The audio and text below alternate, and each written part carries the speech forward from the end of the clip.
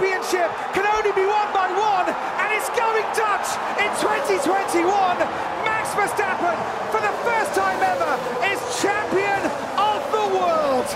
Lewis Hamilton finishes in second place after leading for so, so long. But these last moments are going to be talked about, and this might not be the end of the matter because Mercedes are furious as much as the Dutch fans